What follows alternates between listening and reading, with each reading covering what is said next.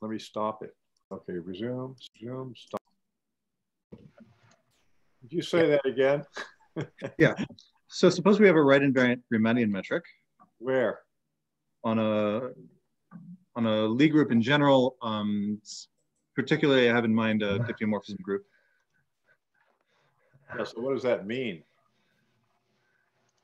Um, well, you're going to say probably, right?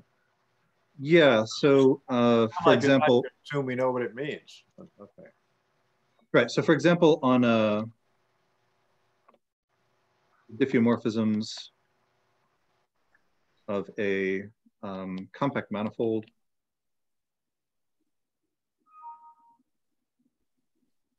which I will denote by D of M, or the volumorphisms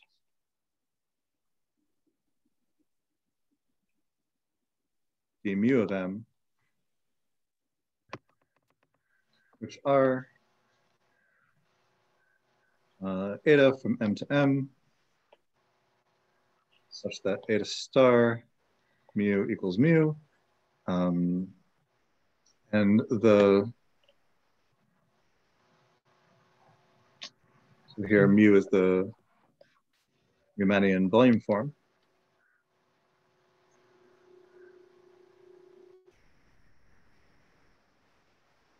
Assuming Um, that manifold so that's the oriented.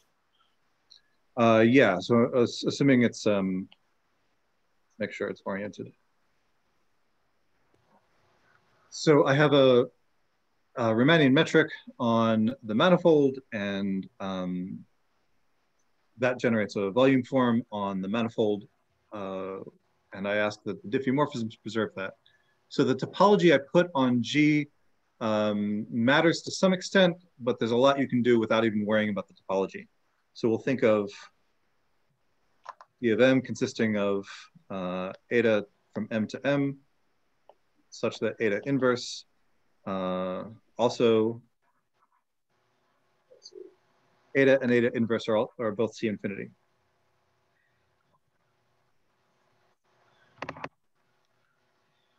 Uh, and I could also say um, work on uh, ds of m, which is eta from m to m, such that eta is a Sobolev hs, and eta inverse is also in hs, uh, and s is bigger than n over 2 plus 1 to ensure eta is at least c1. And there are other topologies I could work with, but those are the most popular ones. Um, and I don't have to work with diffeomorphism groups. I could work even in finite dimensions. Uh, so we could have G a finite dimensional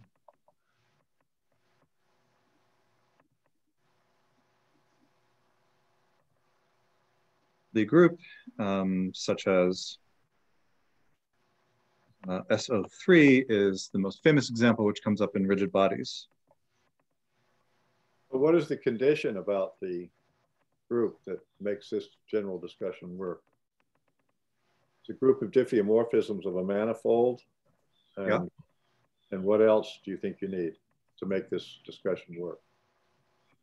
Um, You said you could also work on these other groups, uh, working on the two sphere in this case, right? SO3? Uh, yeah, so so basically all I need is um, a Lie group structure, uh, and um, and I can even be somewhat casual about that. So normally for a Lie group, you want um, some topology where the inversions and the compositions are all smooth um, in their arguments, uh, and you can get away with the fact that sometimes that's not true for infinite dimensional examples. Um, but all you need is uh, to start with a, a Lie group and a right invariant metric on it. So um, I'll start with the action. Uh, minimizing the action is going to give you geodesics. So I want. But as um, you go through your lecture, since in infinite dimensions, there are many different definitions of what a Lie group means. And I have Mhm. lots of examples in mind of infinite dimensional groups that are generated by Lie groups and stuff.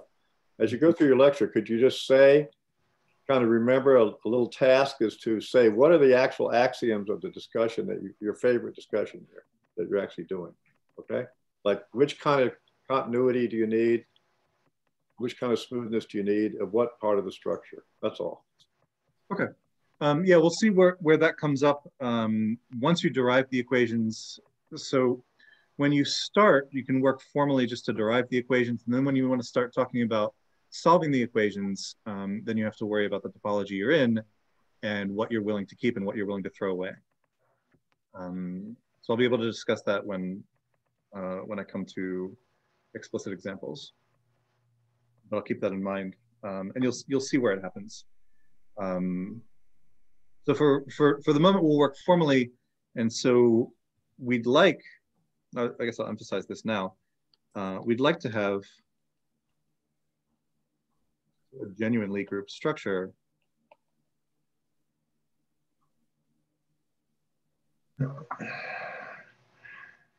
which means the operations are smooth. Which means um, the manifold and the operations are smooth, right?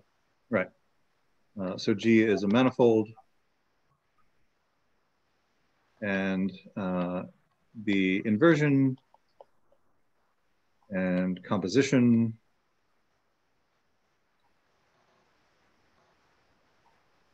are C infinity. Uh, so that happens on the full group of diffeomorphisms um, in the Frechet topology.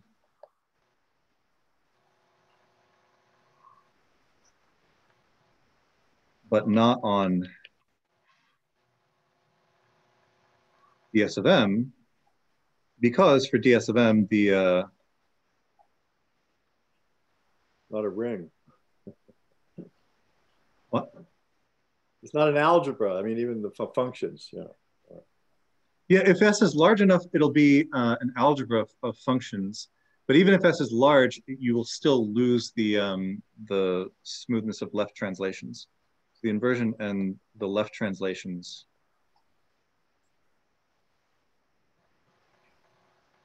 under composition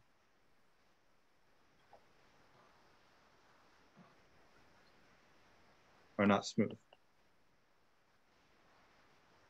Um, and you can get away with that to a certain extent, but at some point it'll cause trouble. Um, but you can work formally.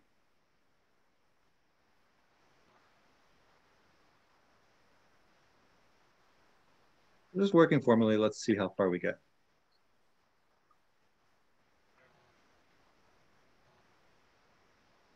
So um, to start with uh, minimizing the action.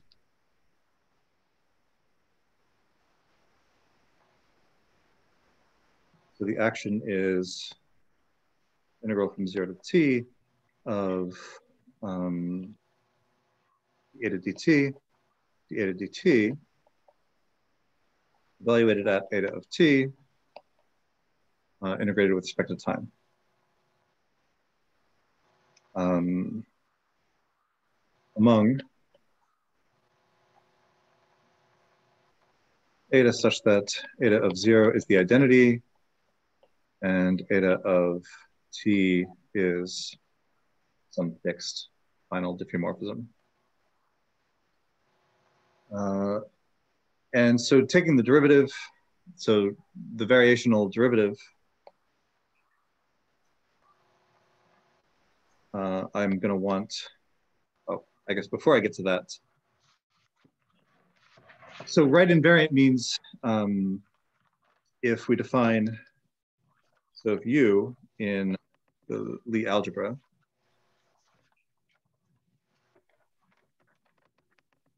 I apologize that I cannot make a Gothic uh, lowercase g.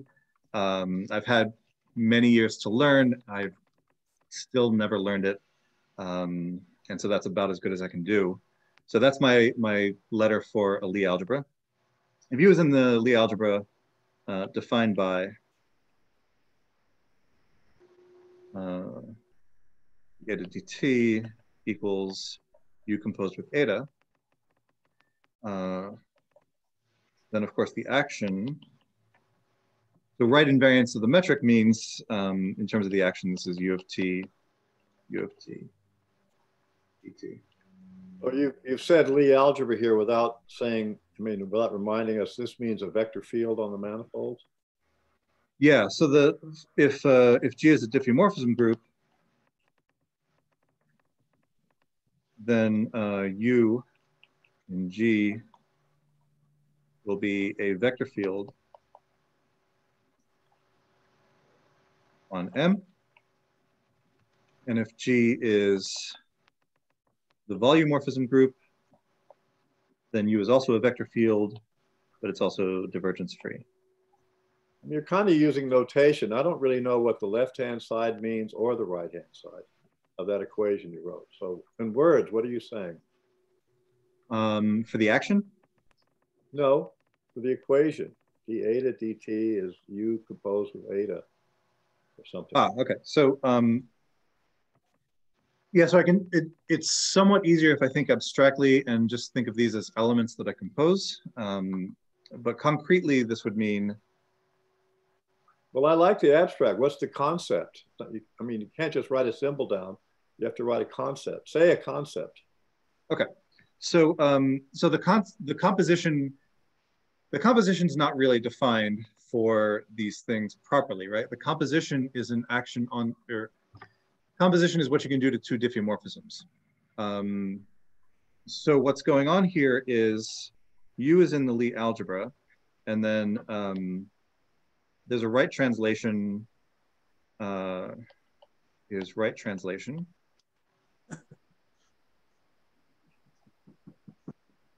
by eta. Or in other words, uh, R eta of some other diffeomorphism Xi is Xi composed with eta. And then that right translation is um, differentiable. So that's the bare minimum we can assume. So if R eta is smooth, uh, as it is in all the diffeomorphism group examples. Remember, left translations might not be smooth, but right translations are going to be smooth. If R eta is smooth, then we can differentiate it. So the derivative dr eta maps from G to the tangent space at eta of the group, capital G. Uh, and for diffeomorphisms, it's also the composition. The dr eta of U is now an element of uh, the right tangent space, T eta of G.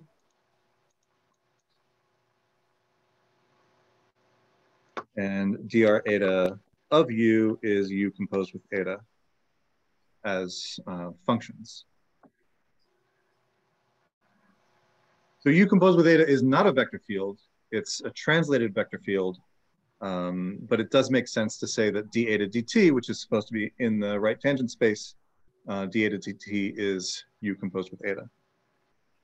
So that's my basic equation that relates the right translation by eta.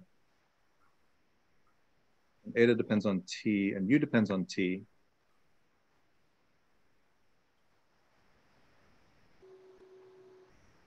So um, if I know what the curve uh, u of t is in the Lie algebra, and that's a lot easier to work with because it's a vector space. If I know what the curve u of t is, I can use this equation to uh, translate that around. Um, and what I'll end up with is, you can think of it as a single vector in the Lie algebra generating a vector field on the Lie group, uh, and then integrating that vector field and the flow.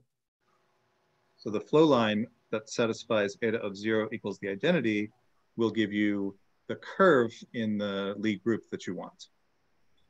So um, might help the picture. There's my Lie algebra and U. That's U of T. And then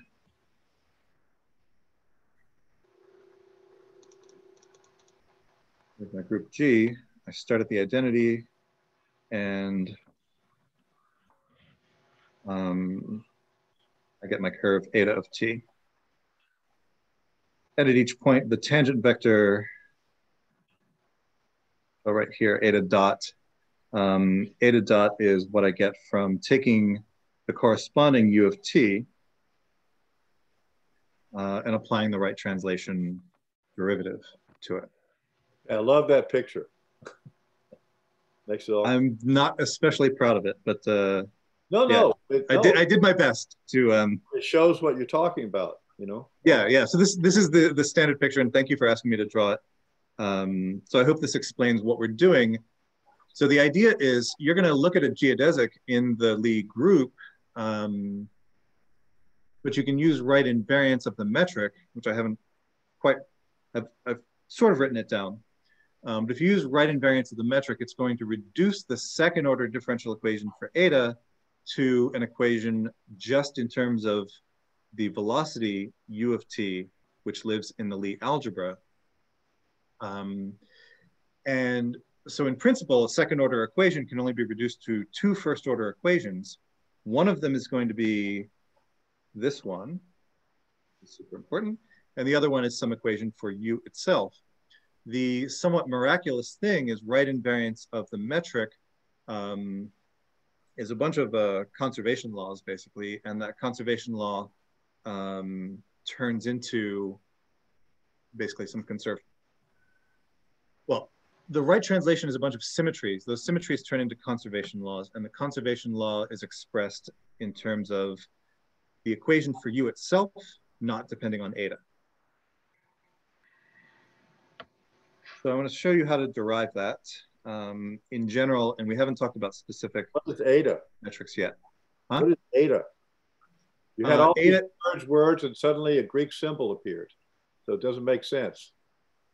Uh, eta is the curve. So eta is supposed to be is a geodesic in the group G, um, starting at the identity. Oh, oh. Um, and with some initial velocity. So eta of zero is the identity and eta dot of zero is u0 for some. So you're explaining how the notion of geodesics in any metric space in this context can be converted to an ODE with some nice properties. hopefully an ODE. Um, so it gets converted. Equation. I mean, no, but I mean, geodesics makes sense without any calculus, right? And you're assuming you're starting with a geodesic relative. Well, you mentioned the action, which is that's that's equivalent to the metric that for which the geodesics is defined. Yes. You're going to say you can give a calculus notation, like we're used to, so to speak. Okay. I didn't. Yeah. So so in principle, as, as Dennis says, you can you can visualize it pretty easily on the on the Lie group. Um, you're trying to pull a string tight between two points. Uh, and the problem is actually calculating that, um, even in really simple cases like on a sphere, uh, is pretty difficult and involved. Um, and that's partly because it's a second order differential equation. Um, and uh, and you know, finding solutions of, of that can be hard. Um, so even in the standard examples, when you do that, you're still looking for conservation laws everywhere you can. And only when you have conservation laws can you hope to solve it explicitly or even say much about the solutions. Um, Excuse me, you're making a that's that's that's an open-ended thing. You're making a precise statement that you can write some kind of equation with some properties that fits with this problem.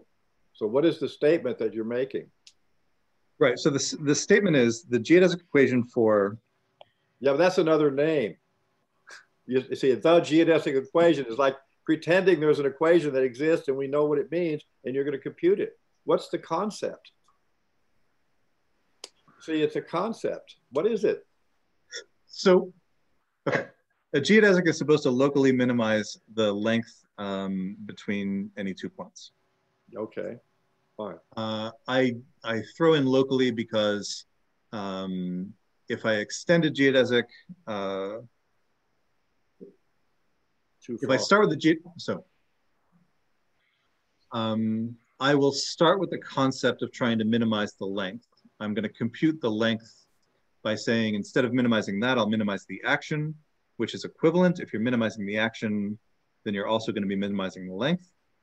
But it also throws in a nice parameterization um, where the length, the essentially corresponding to kinetic energy be, being conserved. So it turns that geometric problem of finding uh, length minimizing curves into a physical problem of a particle that's being constrained to have as little acceleration as possible on the surface. Um, and you can prove that those are equivalent. Um, so the minimizing of action is more from the physical point of view, where I actually imagine a curve, a, a particle trying to trace this traje trajectory, and I don't let it speed up or slow down. I demand that it has constant um, velocity length, constant speed. Okay. So um, then I try and derive an equation for that, and it's essentially Newton's equation, which says the the second derivative um, of position is zero. But uh, second derivative doesn't really make sense. So I say the second derivative is as close to zero as it can be on uh, this manifold. But an equation for the second derivative is um, difficult to work with. So if I can possibly reduce it to uh, an equation for the first derivative only, then I can um, hope to solve it. And so what's going to happen is the first derivative here is the the is d eta dt. Uh, and even d eta dt is a complicated object because d eta dt is, uh, when, when I'm talking about vector fields, um, say the Lie algebra of diffeomorphism groups, d eta dt is not a vector field. It uh, maps from a point to a tangent vector located at where the particle was. Um, so a part, you imagine a particle starting at some point in the manifold, it follows some trajectory, uh, and wherever it ends up at some later time, that's the, the, the location it actually cares about. d eta dt is going to be mapping from that initial position of the particle to the to a vector at the final position of the particle, which is uh, a mess when you're trying to write down an equation for it. So instead, I think of the velocity field, uh, u, and that essentially corresponds to, um, let's see. So I haven't, I haven't quite gotten to the point where this makes sense, but I guess to, to set up um, the philosophy of what we're talking about, you should imagine a river. Here, I'll erase this and try to draw a picture of a river. In blue, of course. So on the one hand, I can imagine um, particles. So this particle would be eta of t x1. It starts at point x1, and another particle starts at point x2 and traces some trajectory, eta of t and x2. And I can watch these particles move, and if I'm actually sitting by a river, I could maybe throw a balloon in and watch where that goes and say, this is the motion of the river. On the second particle is just off my screen. I don't know if it's, oh, oh here we go. Okay, that, okay, that's good. That, that's good now. Yeah. Thank you. Um, so in, so the difficulty is these, these etas as a function of t are going to satisfy a somewhat complicated equation. The, um, I can instead tell you at every point uh, which direction particles that pass through that point are going. So here, for example, is a picture of the velocity field u of t and x and say when the particle hits the point with corresponding velocity at that position, uh, it's going to say, I'm going to move in this direction. And so if I can tell you just the velocities at each point, and that's what you'd actually see looking at a river. If you didn't have a tracer object um, pointing in, you just stared at a particular spot in the river, you would see everything that goes through that point moves in the same direction.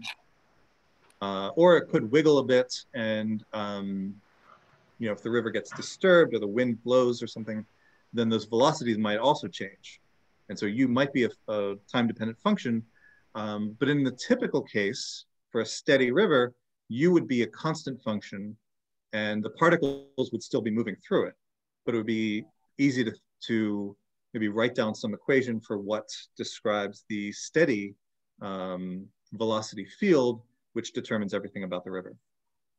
So if, if you happen to know u of t and x, then you can use this equation, which concretely, as a PDE would be the eta dt of t and x is u of t evaluated at uh, whatever position you're looking at. So the particle eta of t and x, eta of t and x is the particle starting at position x,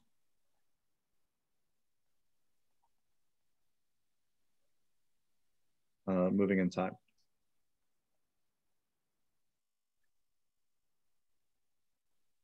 But in the river case, the right-hand side wouldn't have a, the first argument wouldn't, it wouldn't depend on the first argument, just depend on the position, right? Right, so for a steady river, or in general, steady solution of the equation we haven't written down yet, um, you may not depend on time at all.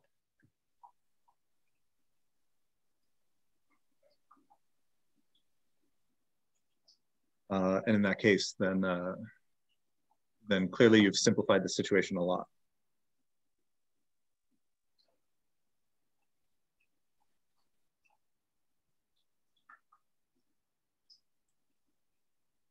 Okay.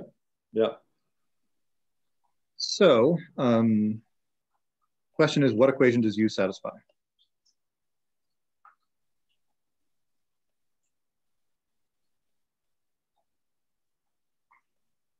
In the Lie algebra. Uh, I have a question on the symmetries. At which point do they enter? For example, you mentioned energy conservation. That's a result of the time reversal symmetry of your equation. So it comes come somehow for free. But then there could be other symmetries that you could impose. Can you? Yeah, that's that. At, that's far from the only symmetry. Okay. At what point would you impose these extra symmetries if you want your system to have some specific, for example, rotation of symmetry? At which point would you impose that as a constraint? Would that be like through a Lagrangian?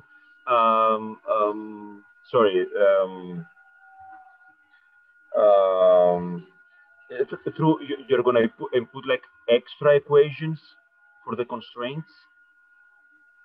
yeah. So so through like a like Lagrange uh, multipliers, like that's how you would put these extra symmetries in.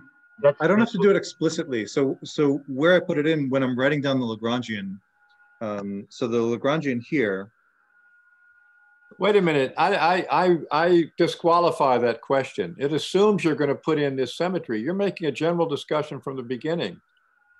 We don't know. I mean, you're saying there's an automatic time reversal because it's a geodesic, so we can ask this question? I mean, it's like something he's anticipating what you are going to be doing.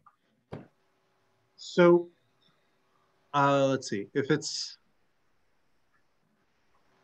once, yeah, so once I say it's a geodesic equation, um, I'm going to have the energy conservation. Um, and that's one symmetry that I'll impose, or that I don't have to impose. I'll, I'll get for free once I say it's um, a geodesic equation. But when I'm writing down the geodesic equation, I have to tell you first, what's the Riemannian metric? How are we measuring uh, velocities, lengths? Um, and the formula for, for the Riemannian metric is where you can see the symmetry. So here the symmetry for diffeomorphism groups, the symmetry is expressed as a particle relabeling symmetry that um, if, uh, if instead of telling you that eta of t and x is the particle starting at position x and moving in time, I said, I don't like the, uh, I, I don't like the positions you put on these particles. You called this first one X1 and you called the second one X2, and I hate those names for it. I would rather instead call this one uh, alpha of X1 and this other one alpha of X2, where alpha is some function I made up to relabel all these things. Um, and that is purely in your head, right? Um, uh, a change of names of the particles, just relabeling the particles. The physics of the situation doesn't care about how you label the particles. So it doesn't care whether you decided to start at eta equals the identity or at eta equals some other diffeomorphism alpha. Um, and because of that, so because that can't affect the energy of the particles, um, that gives you a whole diffeomorphism group's worth of symmetries uh, in your Lagrangian, which is quite a lot. And so that's, um, that's the expression of the right invariance of the metric. So the, fa the fact that you have that many symmetries just from writing down the Riemannian metric is, is what's going to reduce the equation from a second order equation to two first order decoupled equations. And, and Steve, those symmetries correspond to the circulation theorem, right? Um, yeah, the, the, the circulation theorem will fall out in a slightly different way, but it's essentially a consequence of, of the particle relabeling symmetry. Noether's theorem, right? I think it's. Yeah. Yeah. Um, and, and we'll see that happening. So, uh, Okay. So remember, I'm trying to minimize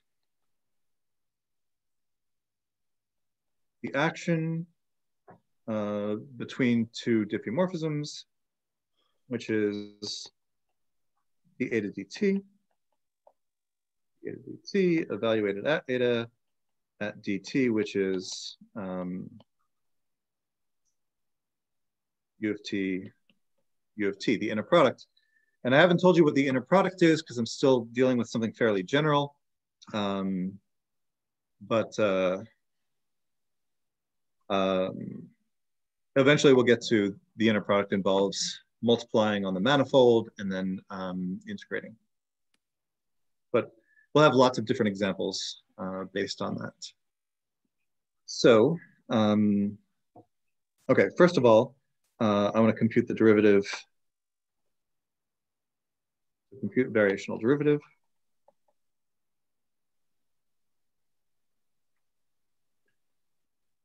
with respect to a parameter.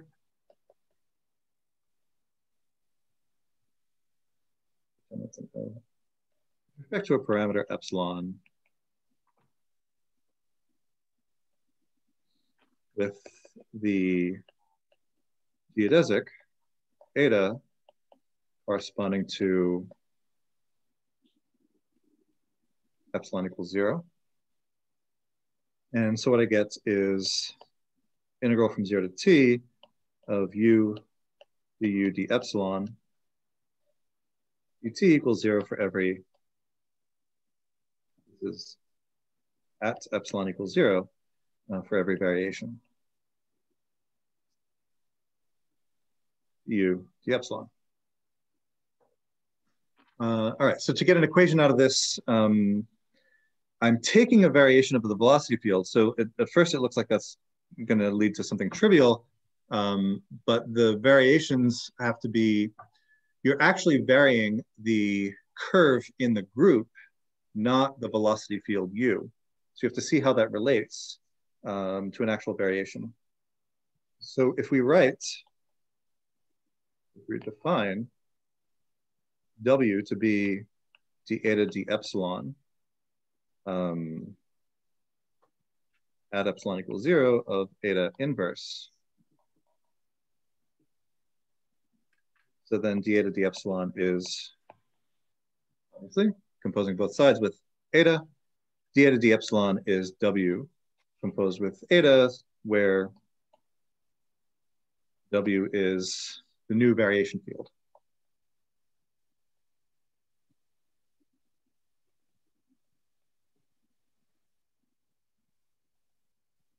So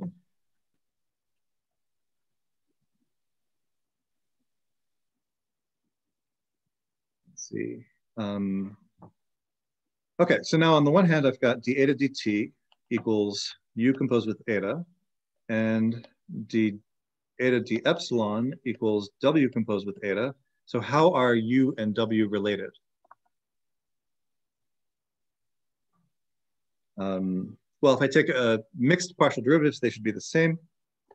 So d d epsilon eta dt is the u d epsilon plus nabla wu goes with eta. And that corresponds to uh, taking a derivative with respect to epsilon. Um, I both differentiate the part of u that depends explicitly on the parameter and then differentiate spatially because u is being composed with eta and eta also depends on epsilon. So I get this from the chain rule. And here I'm using the Riemannian um, uh, covariant derivative to get two partials. And on the other hand, if I differentiate with respect to eta first and then t, I would get the w dt plus nabla u w goes with eta.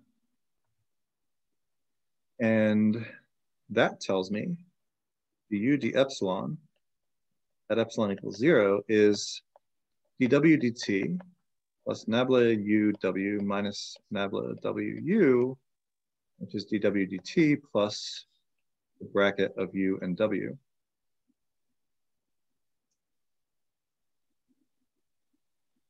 And that works on vector fields on manifolds, right? Where the group operation is composition.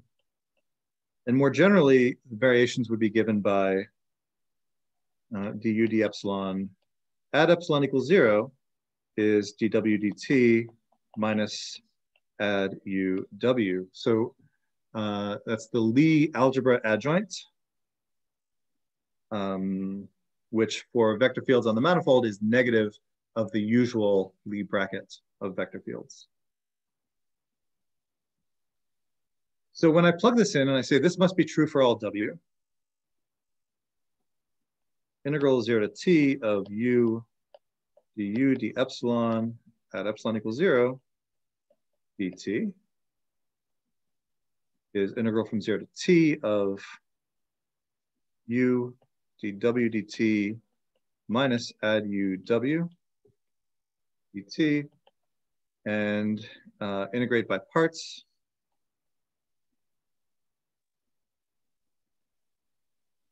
I get the equation. Du dt plus ad u star u uh, dotted with w dt equals zero.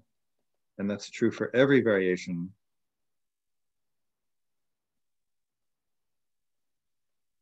W. Which now tells me I have the equation du dt plus ad star uu equals zero, which, as I told you before, um, doesn't depend on eta. So the fact that the fact that there was no eta dependence came from this, from when I wrote the action uh, and translated back so remember, d eta dt is the right translation of u.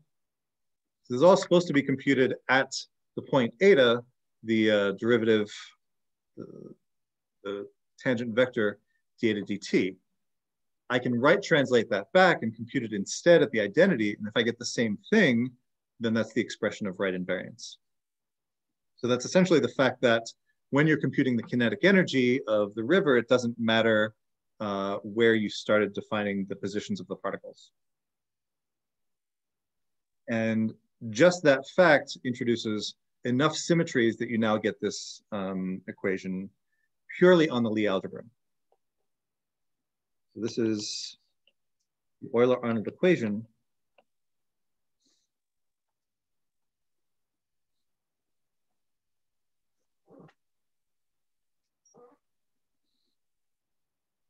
on the Lie algebra. for u of t. And if I'm lucky, I might get solutions like, um, so if u0 satisfies ad star u0, u0 equals zero, then u of t equals u0 is a steady solution.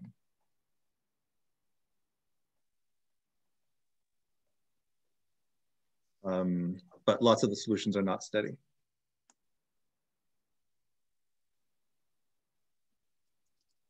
Everyone's still with me? I do this when I'm teaching because I, I don't know if I've lost my internet connection if, if people aren't talking anymore. Yeah, so, so intuitively, where has the pressure term that we're used to seeing in Euler's equation disappeared to? Uh, it's hiding in the ad star. So essentially, um, I'm going to compute this in, in each case differently, but uh, so let me start with some examples. Um, so ad star UU, so what, what's our situation? Um, for the volume preserving diffeomorphism group, uh, U and W are divergence free fields.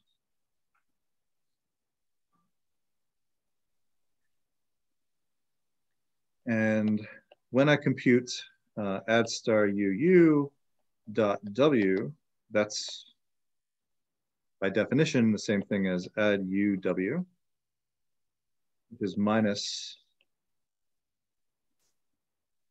uh, the bracket of U and W.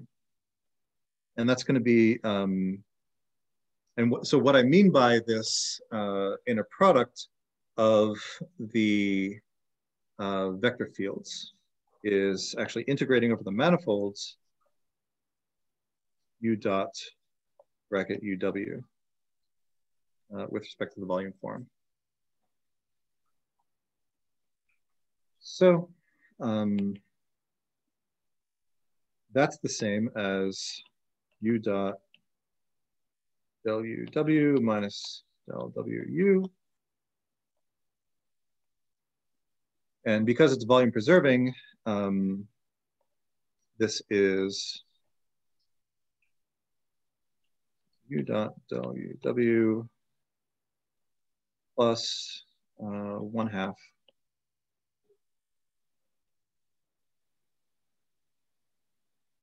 uh, W dot um, gradient of norm u squared, which goes away because it's divergence free and there's no boundary. So any divergence free vector field dotted with any gradient is zero.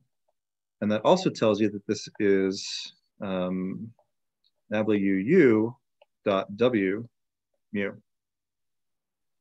And so you want to say ad star uu is nabla uu. Uh, but you can't because you know that these are supposed to be the same uh, for every divergence-free vector field W. Um, but, uh, but gradients will also disappear when dotted with divergence-free vector fields. So all you can say is ad star UU is nabla UU plus grad P for some function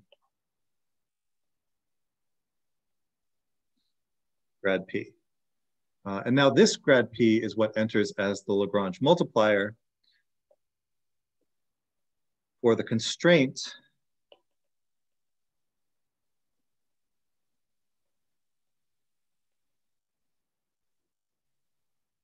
the constraint divergence u equals zero.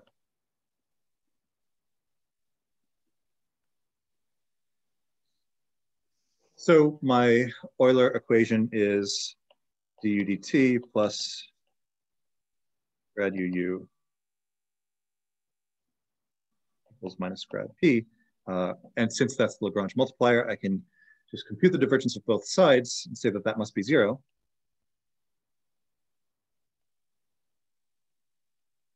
To get an equation for p, um, which on a compact manifold is uniquely solvable up to a constant the constant disappears, so grad p is uniquely defined by this.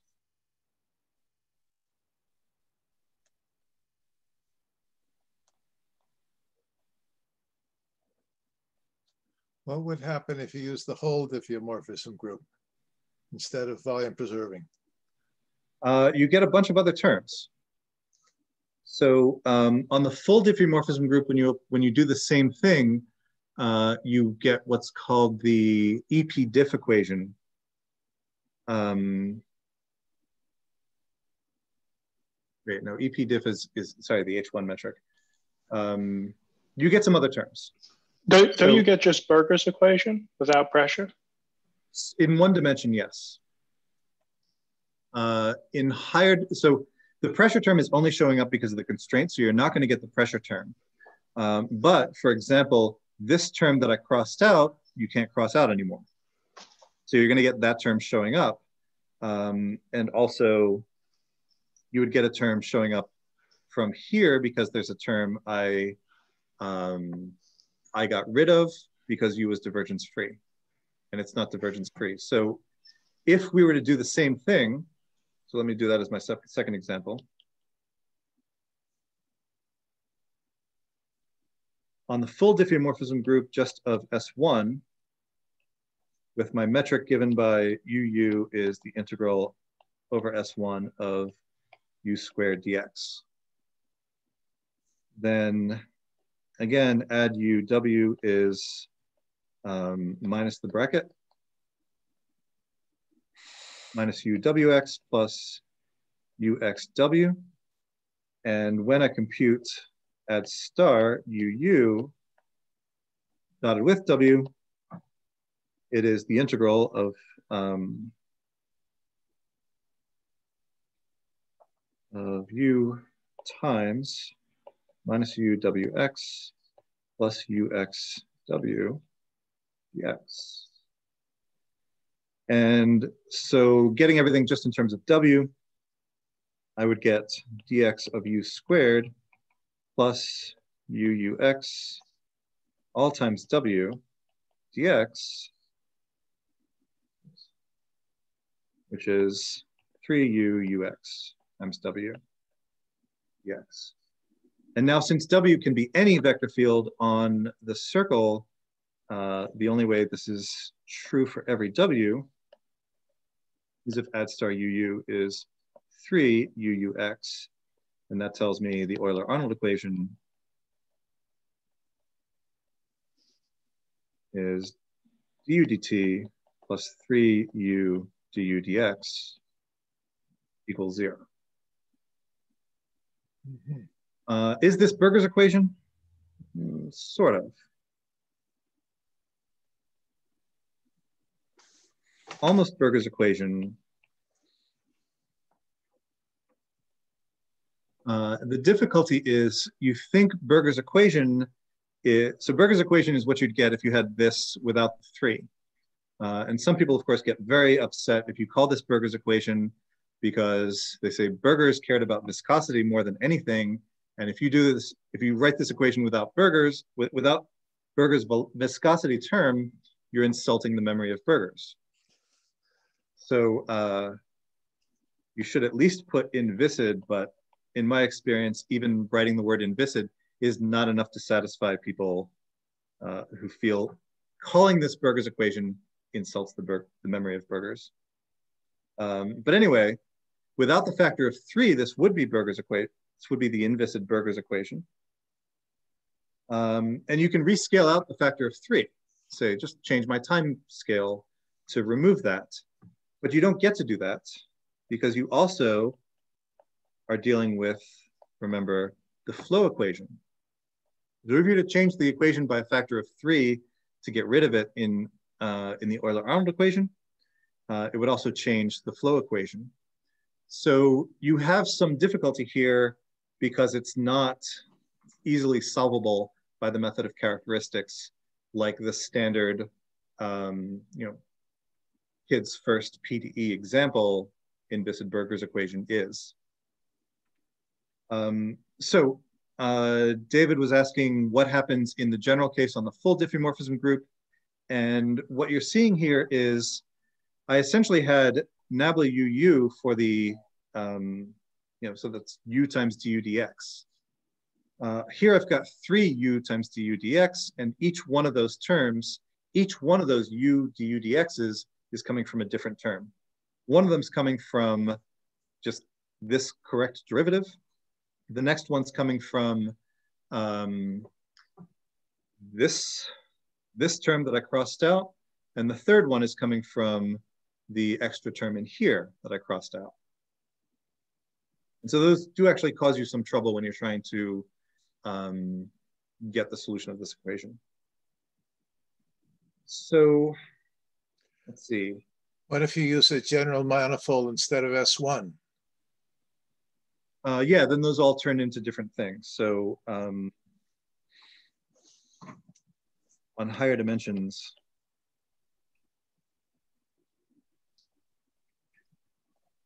uh, if I remember correctly, you get um, 3UUX becomes nabla UU plus one half the grad of U squared plus um,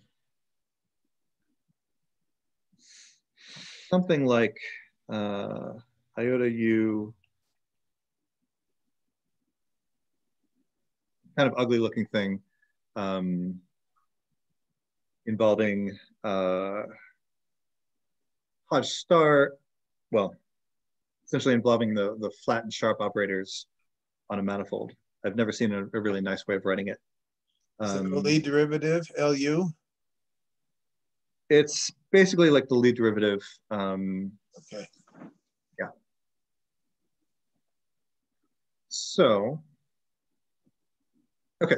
So every time we choose a new group and choose a new metric, we get a new example. Um, and so there are, there are lots of uh, basic things you can do as, so in general, for the L2 metric on d mu of m, we get the Euler equation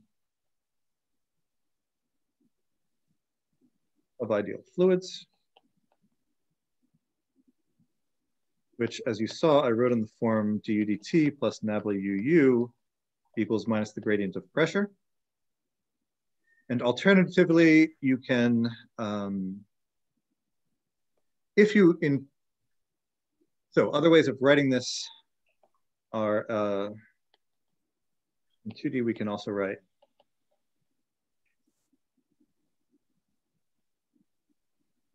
Uh, assuming the first homology is um, zero. Divergence of u equals zero implies u equals uh, skew gradient of f. And then we get an equation for f itself, for the function f. Euler is uh, Laplacian ft plus um, u of Laplacian f equals zero. And in 3D, we can take the curl of both sides. So if omega is curl of u, then uh, d omega dt plus bracket u omega equals zero, which is um, the form we're most familiar with uh, in terms of what Dennis has been talking about so far. So um, to so directly understanding these equations is really difficult. Um, we can try and understand in simpler cases like, uh, say, imposing axisymmetry uh, in the 3D case.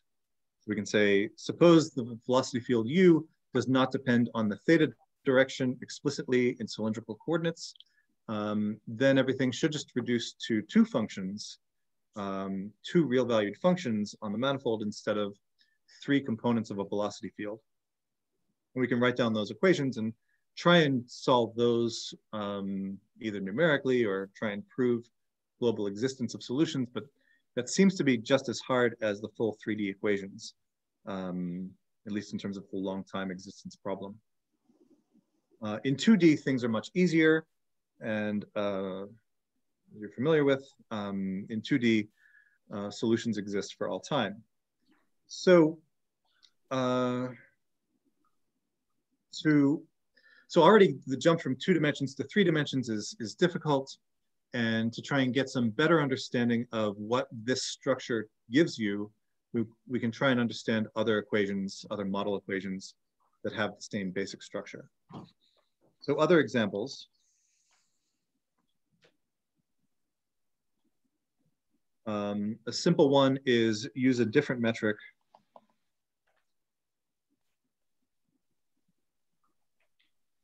on uh, the diffeomorphism group. So on volume preserving diffeomorphisms, if my metric is instead of just the L2, inner product, I take U, times LU um, against the volume form, where L is a differential or pseudo differential operator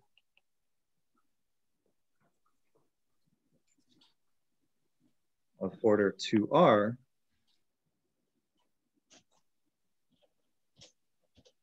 uh, then we get um, well, r doesn't really have to be greater than or equal to zero. Any real r. Uh, then we get variations on these equations like um, in the 2D case. Why is that a metric? Huh? Why is that a metric? Uh, oh, yeah. So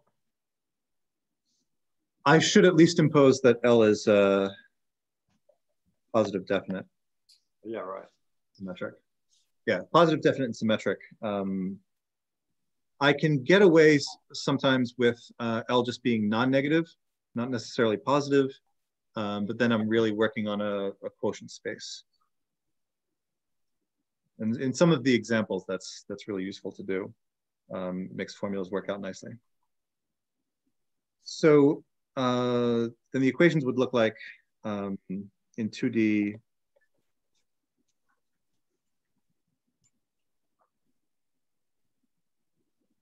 Plus u of L Laplacian F equals zero. Um, and this, so this is most interesting when L is when L equals um, the Laplacian to the power minus one half. This is the surface quasi-geostrophic equation. Geostrophic. So what does that mean geometrically? Uh, what, taking that power, that operator no, L? No, no, the words geo, quasi, geo, I mean, what physical thing are you talking about? Uh, so, I don't know, Theo might, might be able to answer this a little bit better. My understanding of why it's called that is because it's sort of similar to the quasi-geostrophic equation and the quasi-geostrophic equation is essentially the equation for the atmosphere um, of the Earth when you incorporate um, the rotation uh, and ah. you assume that there's some balance between, um, I think the the pressure and or the gravitational potential energy and the rotation speed. And in the, in the compromise between those two, you get what's called the quasi-geostrophic approximation um, to the full equations. Uh, throwing in the surface quasi-geostrophic um,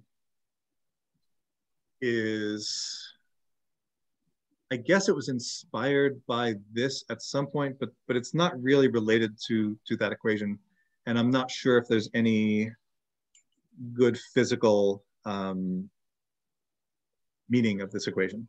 But Steve, actually, I, I think that uh, the dynamic, so if you look at the, the quasi-geostrophic equation, the one you just said in 3D, and you have a fixed surface up top, the surface quasi-geostrophic equation are the dynamics on that surface, and they close there in a certain regime. So, so it, it's it's it's the same equation, just in a certain regime where the dynamics close at the surface. And that's like a 2D. Now it's a 2D picture. Okay. Okay. Yeah.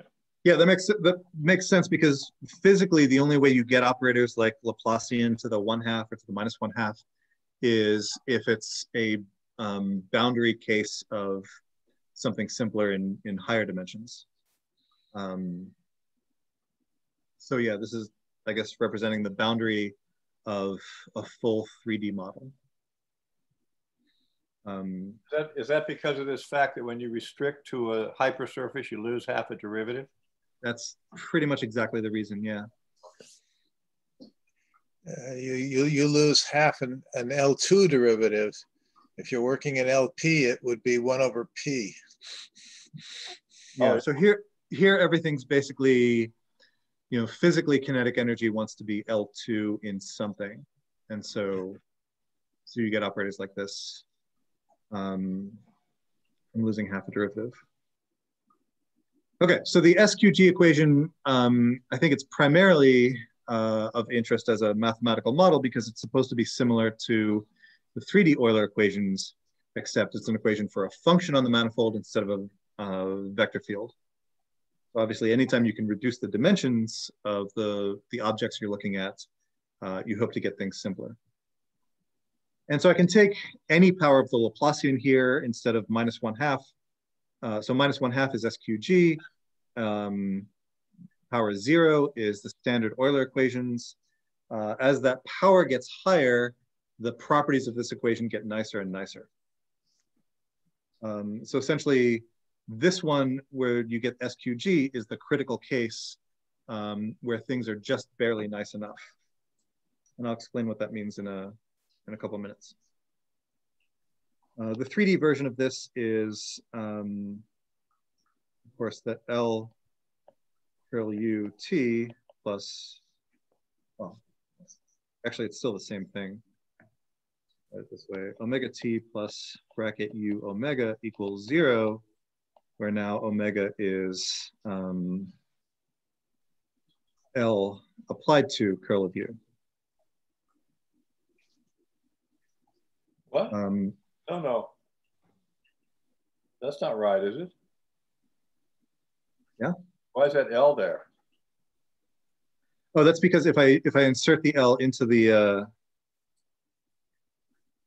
is that right? Well, I mean, that's the Euler equation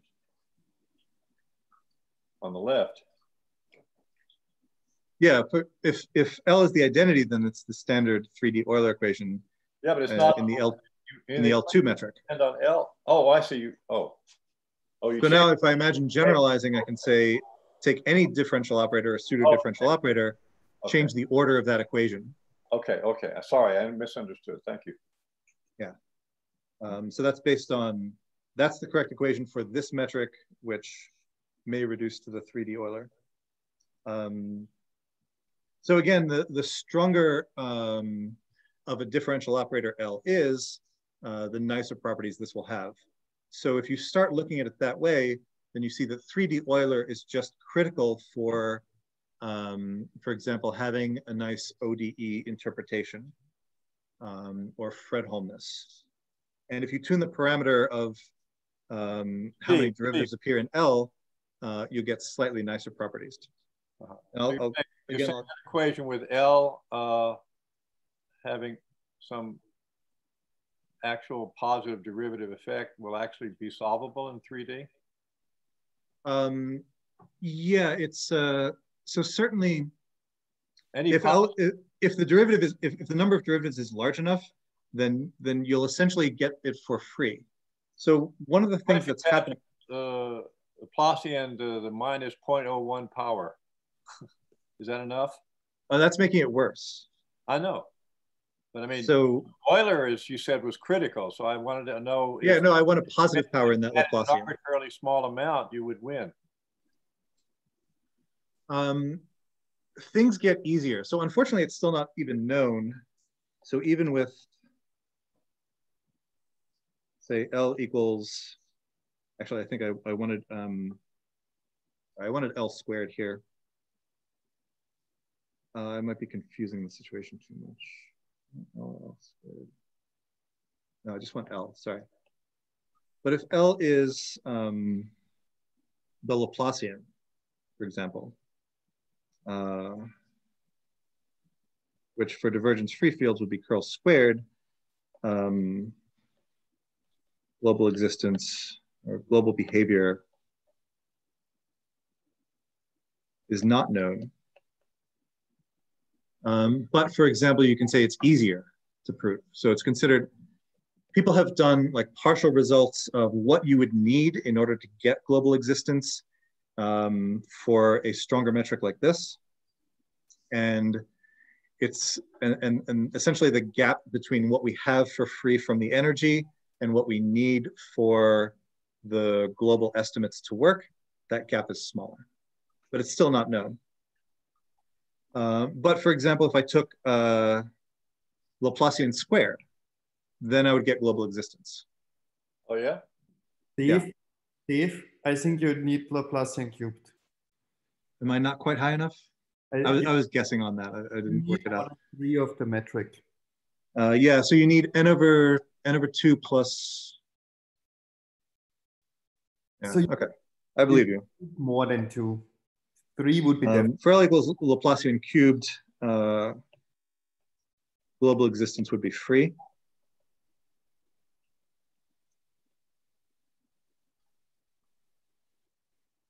Uh, and so that essentially happens because, and what you should keep in mind is um, the right invariance of the metric is supposed to tell me that if I have some ball where the solution uh, exists, right? Some ball of initial conditions, and I can say, for those initial conditions sufficiently small, I can find a geodesic that goes out for a short amount of time.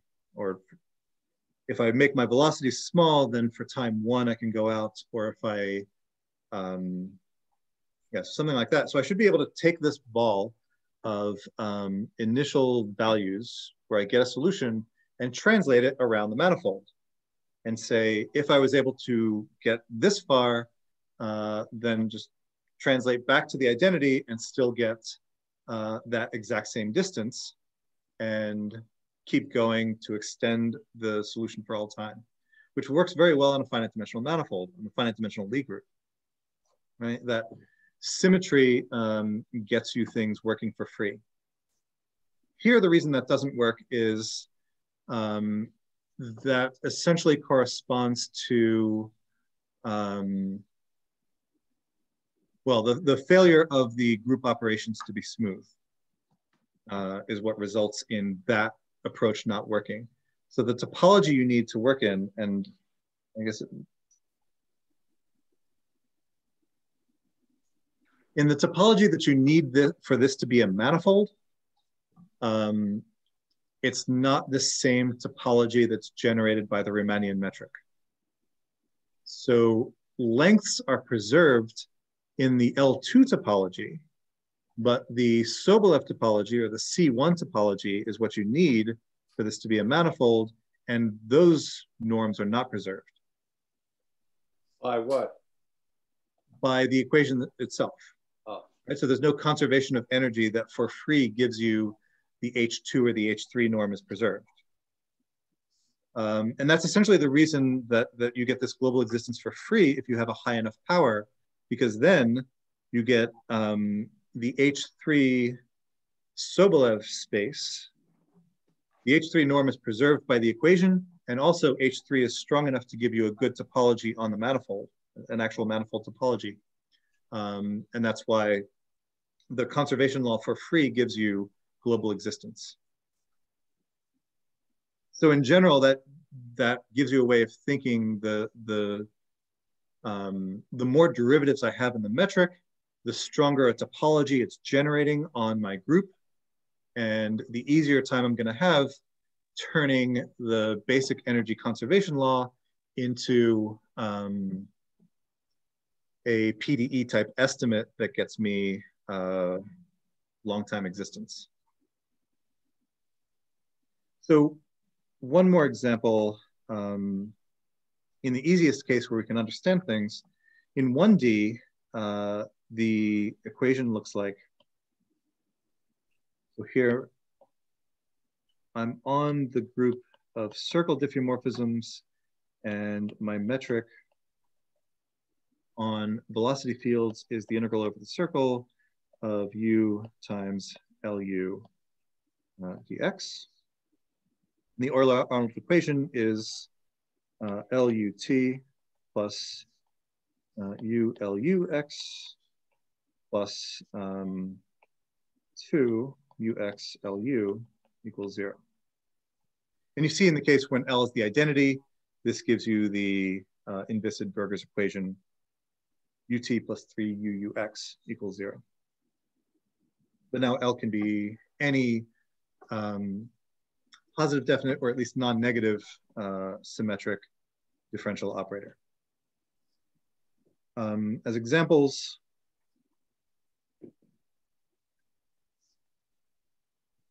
when L is the identity minus dx squared, you get the Camassa-Holm equation.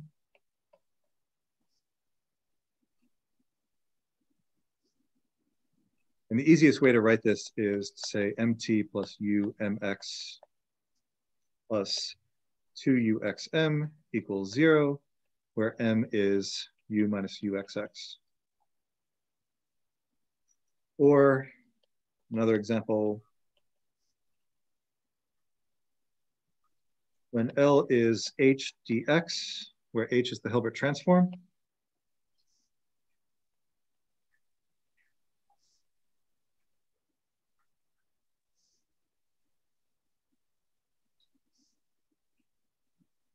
So we get obviously the same equation uh, with just with a different definition of m. That's not positive anymore. It's not positive. It's uh, so what you actually have is you can either think of it as a degenerate Riemannian metric. Well, it's got Um, signs. No, Huh? the Hilbert transform. I don't know what your symbol means. You said Hilbert transform, right? Yes. Applied to d by dx or what? Yeah. It's Oh. non-negative. Okay. Uh, it kills constants, but aside from constants, it's it's non-negative. So the easiest way to understand this is um, to apply it to a uh, Fourier mode, and it's the absolute value of n times e to the i n x. Oh, I see. Um, and so that's why it's positive definite or Yeah. positive definite except for constants. And so to do this properly, you're actually doing it on the diffeomorphism group of the circle, modding out the rotations. Um, or you can just be somewhat casual and say, uh, it's like a geodesic equation, except um, some vectors have length zero. The proper way to do it is on a, on a quotient. Um, so you can generalize a, a little bit. So if, um, notice the factor two uh, is always gonna come from geodesic equations. You can also, even more generally, LUT plus ULUX plus lambda UXLU equals zero for any constant lambda. Uh, and the reason for doing this is it allows you to get somewhat different structure and things that are closer to the genuine Euler equations of fluids. So for example, when lambda equals minus one, uh, and again, LU is HUX,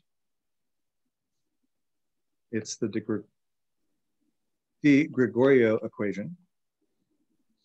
But These are still examples of the Arnold equation, right? It's no longer an example of the Arnold equation when lambda is not two. Oh. So what changes now is, so if lambda is not equal to two, energy um, u dot lu dx is no longer conserved.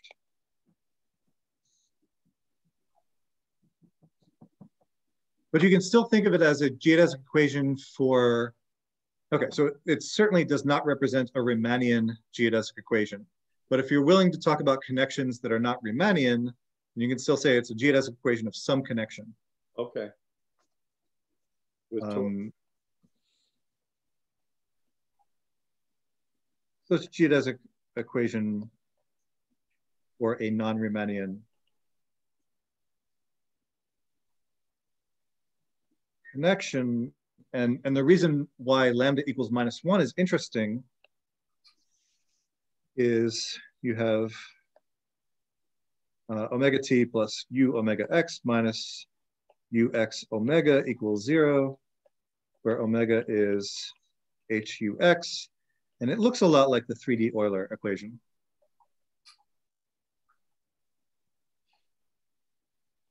Is of course omega t plus um, nabla u omega minus nabla omega u.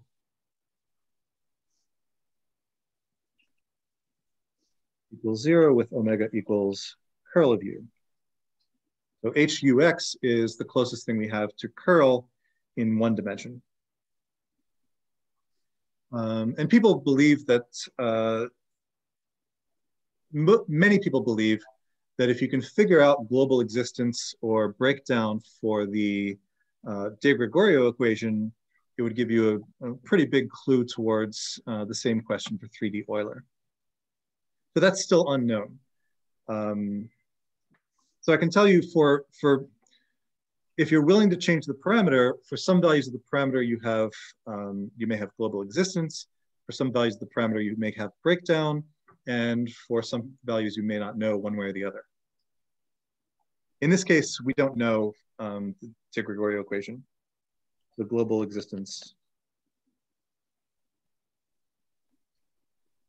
Even for De Gregorio is unknown.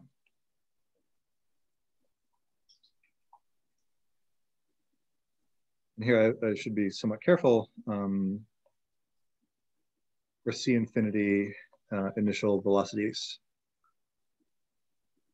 U0. Uh, if you're willing to work in weaker spaces, um, you can get solutions that break down, I believe, for the De Gregorio equation. Um, but it's unknown whether smooth solutions will break down in finite time. But if I change the parameter, for example, for every positive value of lambda, uh, it's known that all solutions will break down in finite time. Um, and I believe it's, it's conjectured that for sufficiently small negative values, you get global existence, but for sufficiently large negative values, you get breakdown. And I think there's a recent result um, where at least part of that is known. If lambda is sufficiently large and negative, then you get breakdown. Um, here, my notation is a little bit different from the standard notation because I'm trying to make it fall out of Euler-Arnold equations. Okay, so um, now Dennis asked at the beginning, what's the topology you're working in? And uh, I'm just gonna mention that because when we're talking about the local and global existence questions, um, that becomes really important. So in Um, okay, what does this approach give you? So it gives you some things, um, if not for free, then at least in a kind of easier way. Uh, I did say in, in some cases you do get things just for free. So for example, if you have um, a sufficiently high order of your differential operator defining the metric, you will get global existence for free. Um, you can get local existence fairly easily um, under some conditions. So I'll discuss a little bit of that to finish off here. The local existence um, in the geometric approach.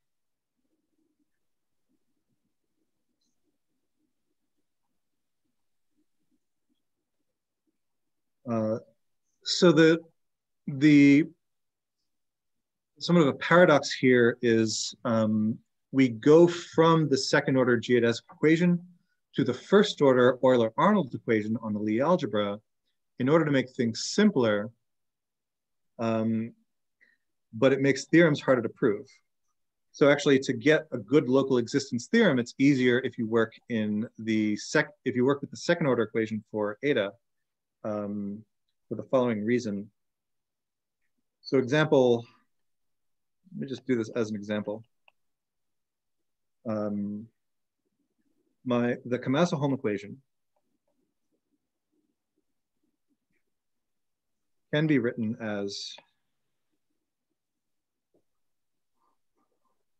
Uh, we already wrote it one way, but another way of writing it is ut plus ux equals minus px, where uh, p satisfies p minus pxx equals u squared plus 1 half ux squared.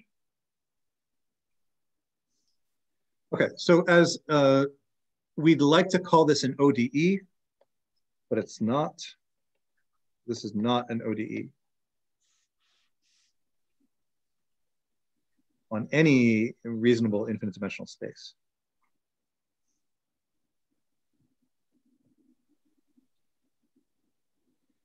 And so by reasonable, I mean something like um, a Banach manifold where you have, uh, you can prove existence of ODEs by Picard iteration. Right? So that's a, that would be a reasonable space uh, to call something an ODE, right? Because if you, if you want to say it's an ODE rather than a PDE, uh, it should be easy to work with like an ODE is. And the reason it's not an ODE is because when I'm solving for u, du dt involves the derivative of u. So it whatever space u lives in, uh, du dx lives in a less strong space. So for example, if I'm trying to do this for u in C1, well, the, the right side of this equation is at best in C0. So I'm trying to, uh, uh, I can't treat it as a, uh, DUDT is some nice function of U. What about real analytic? In the real analytic case, so yeah, in, in the C infinity case or real analytic case, it's okay, except in, in the spaces of such functions, you don't have the, um, uh, you don't have the contraction mapping principle. Yeah. So that you can you so there is, uh, I mean, there are different schools of, of how you resolve this problem of you know infinite dimensions are difficult to work in. One is to try and find a nice um, space to work in where you have lots of tools like a Banach or Hilbert space. The other is to work in the Frechet space that you actually care about, where your objects are all C infinity, um, but then you you lose the theorems that you get for free in a Banach space. And if you want to do anything with them, you have to prove them case by case. Well, Nash did something, didn't he? Uh, yeah. So so so you have to use that sort of technique, um, which can also work. But uh, Nash's technique is definitely harder than uh, than just viewing as an as an ODE in a single space but you, you, you can work around that in order to, to work in Frechet spaces. Um, so the easier method is uh, if I write eta t equals u composed with eta, that implies taking two derivatives, eta tt is ut plus u ux composed with eta. And so the Euler equation for u becomes the equation for eta um, just at the price of composition with eta. And um, so the point is I lose that derivative, right? The derivative u sub x. Um, it's now just two derivatives of eta, but I don't see any explicit spatial derivatives. Uh, I do see one in the pressure term, but notice the pressure term if you think of U being a certain degree of smoothness like C1, then UX will be C0, uh, and P will gain two derivatives, so P will be in C2, and then PX is back in C1. So this is a second order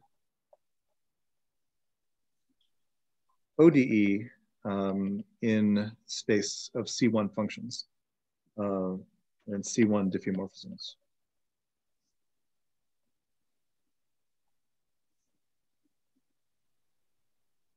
And in fact, it's smooth.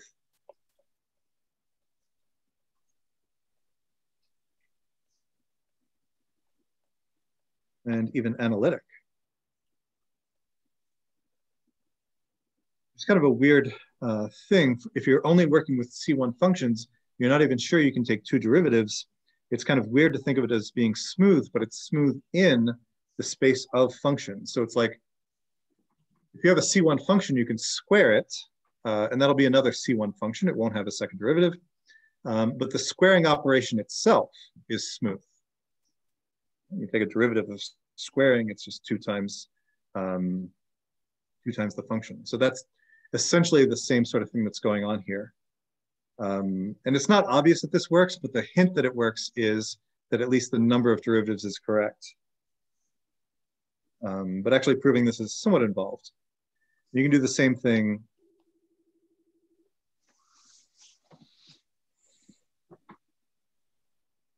with uh, the full Euler equations.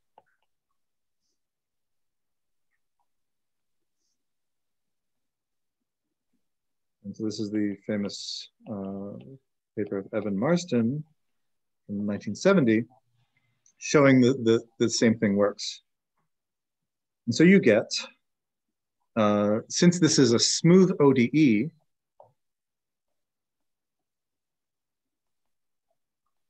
So this is the 50th birthday celebration of that theorem, this seminar. This okay. is, I didn't even notice that. Happy 50th birthday, Ebin Marsden. Uh, so the fact that it's a smooth ODE tells you that the map from initial conditions to the time one, for example, uh, is a C infinity map. Um, if you try to use that to get solutions of the actual Euler equation, then remember U comes from taking the time derivative of eta and composing with eta inverse. Can you raise it? Huh? Raise the screen a little bit. Oh, right. Thank you. Um, and that, so although you're, you're dealing with smooth maps, as soon as you have a, an inverse composition here, so there are two things that are going wrong here now. I am trying to, in, to apply the inversion operator to eta, and as I said before, that's not smooth on the um, group of at least Sobolev diffeomorphisms. Right? So uh, if we're on, if G is ds of M for any finite S, the inversion and uh, left translations are not smooth. They're only continuous.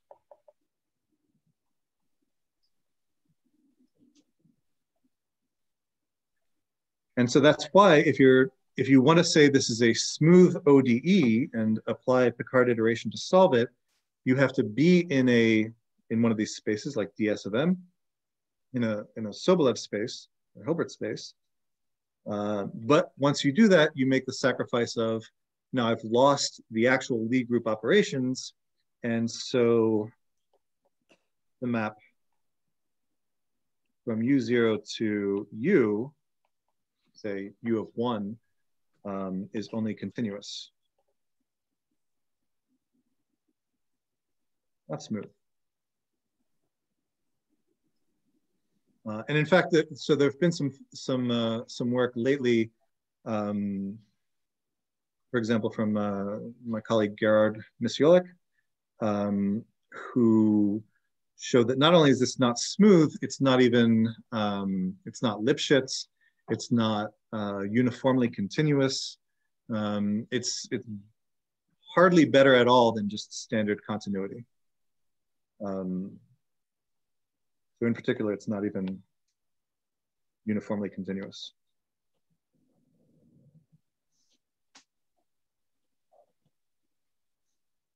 Um, okay, and then there are other things with, uh, so essentially, as I, as I mentioned earlier, um, the more smoothness you have defining the Riemannian metric, the easier things like this are going to be. So for example, this, this type of smoothness of the ODE works um, for the L2 metric on volume preserving diffeomorphisms.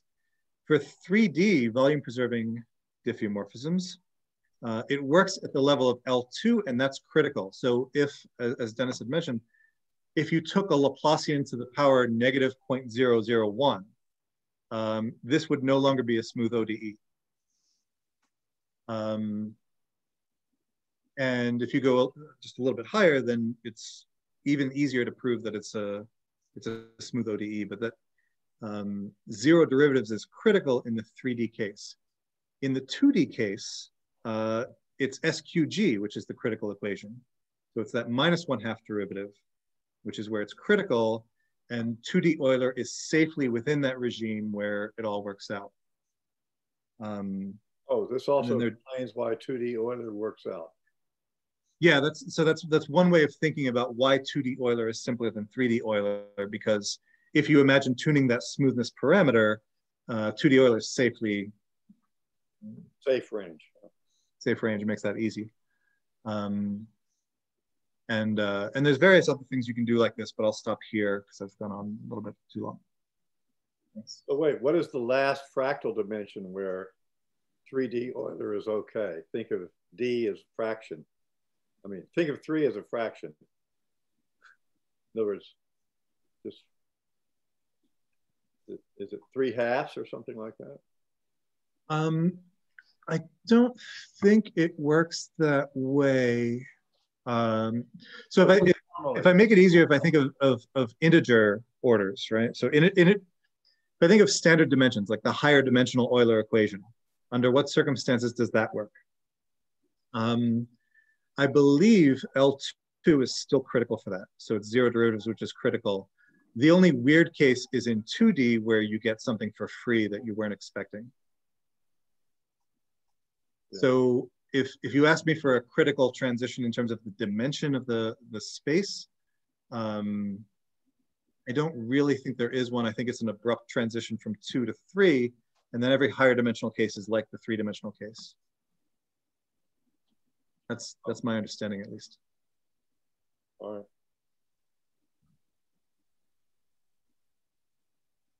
Steve? Yes. For, for the full diffeomorphism group, there is no change for the critical exponent for local well-posedness at least. Yeah.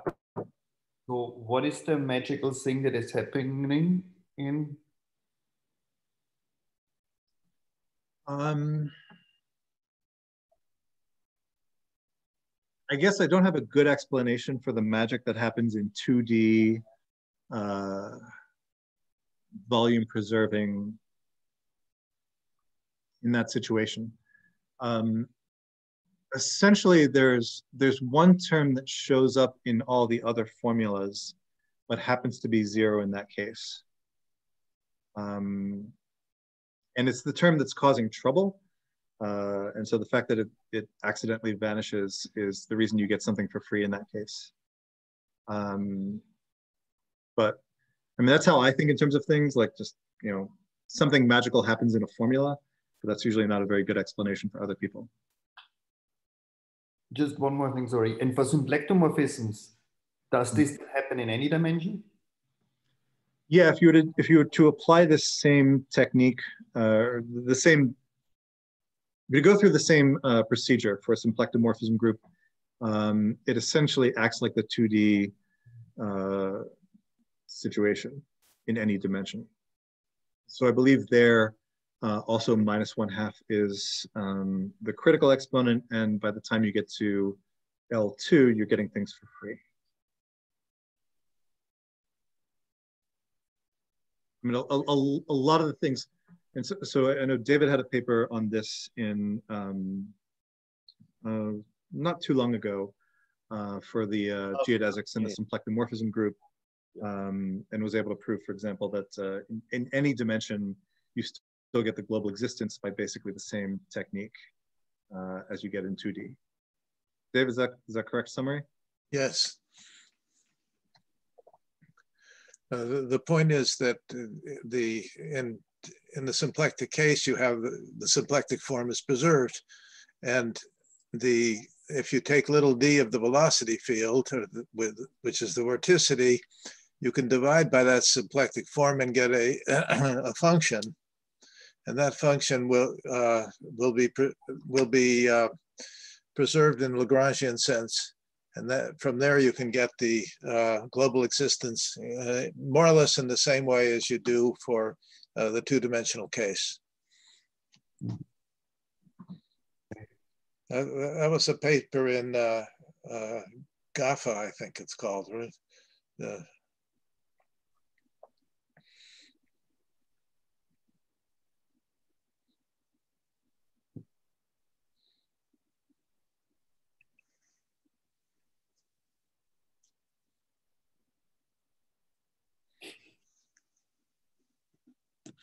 Stephen, go ahead. Oh, what am I supposed to say? I thought I was done. no, no, I said Stephen, go ahead. Yeah. oh, I thought we were finished with the talk, so it's just discussion. It, it actually, no, officially, I think time is up. no, no, you're. I, um, if, if you didn't get to the second part of your abstract where you mentioned uh, going through where the blowup happens. Oh, okay. Um, Uh, yeah, I, I, went a little slow compared to the uh, what I anticipated for the abstract. Um, okay, so so yeah, I'll I'll I'll just briefly say the uh, the um, the thing I had in mind uh, for some of these model equations. Um, so to see blow up mechanisms.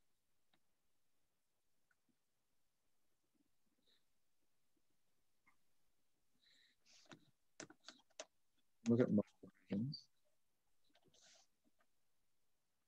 And I find the, the most instructive one is, um, Hunter Saxton, because you can really, there's only one situation where you can solve everything explicitly um, and see the formulas. And once you see that, you can get a sense of, how things might work in general. The Hunter Saxton equation is um, the diffeomorphism group of the circle with L equals minus dx squared.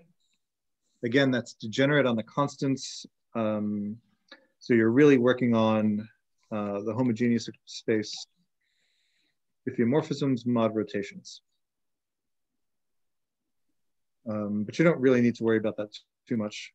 The equation itself looks like uh, utxx plus 2ux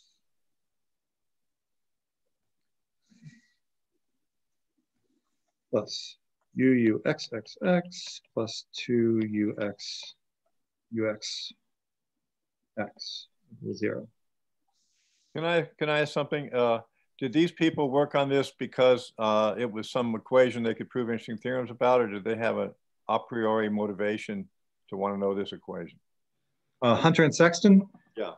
Um, depends who you talk to. So uh, Hunter yes, Saxton. Um, Saxton thinks it's just a toy model, uh, but Hunter Hunter viewed it as more of a um, a realistic model of liquid crystals.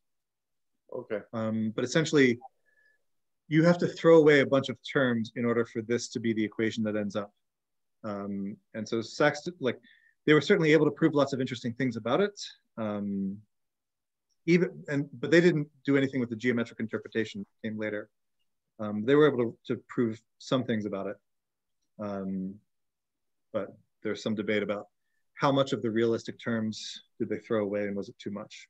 I've heard the word liquid crystal, but is, what's an example of a, a liquid crystal that I might see or in the kitchen or anywhere, a volcano or anywhere?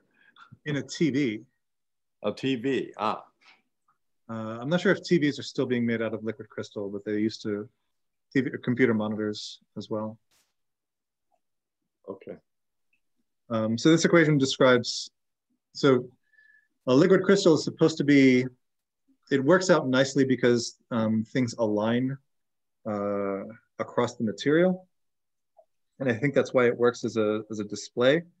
Um, but uh, then if you look at the small perturbations of, um, of that steady state, then they satisfy an equation like this. Okay. So it's like some kind of motion in a material that has a some kind of gridding or thread in it that that that, that biases the motion or okay. So the solution of this um, is sin of kt plus u0 of x over 2k sine k of t, sine of kt squared, where k squared is a quarter uh, integral of the initial condition squared. Um, and so if you actually want to find the flow eta, you can integrate that um, in space. Uh, and you notice that, um, that this can go to zero in finite time. In fact, no matter what u0 is, actually this is u0 prime, no matter what u0 is, this will eventually go to zero. Always reaches zero in finite time.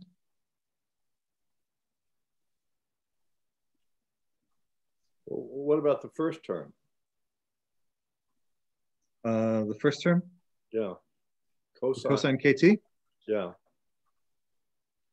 Uh, yeah, it's the sum that'll reach zero. So you're oh the sum you're adding them together and and then squaring.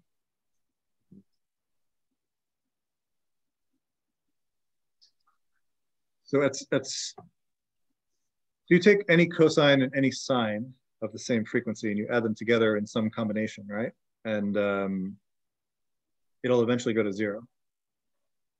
The the t is like one over k times the arctangent of something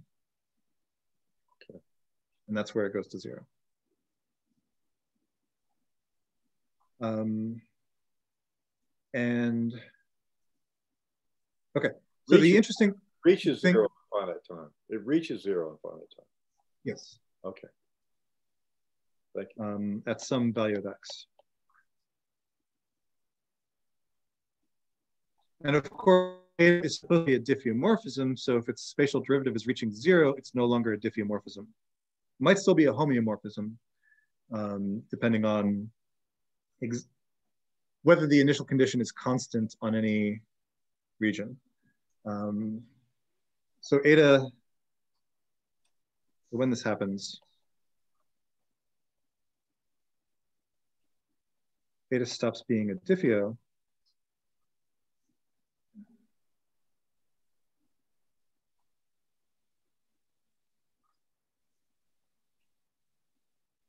may still be a homeomorphism.